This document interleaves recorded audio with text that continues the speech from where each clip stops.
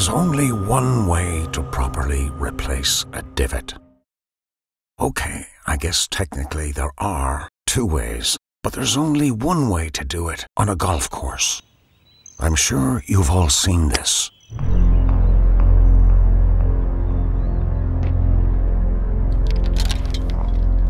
Hey, aren't you forgetting something, pal?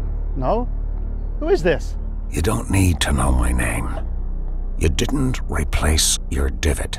I barely left the mark. Pick it up. What? The divot, pick it up. I don't fix those. That's for the greenskeeping. I have a very particular set of skills. Skills I have acquired over a very long career. Liam Neeson? Open your phone and watch closely. I will only show you this once. When replacing your divot, make sure the shape matches the hole.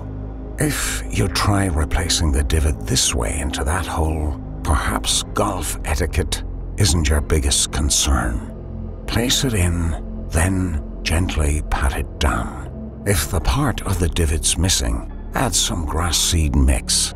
If your divot has completely exploded, pour grass seed into the entire hole.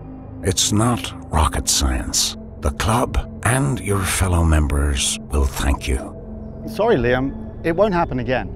I don't know who you are, but if you don't start putting those back, I will find you.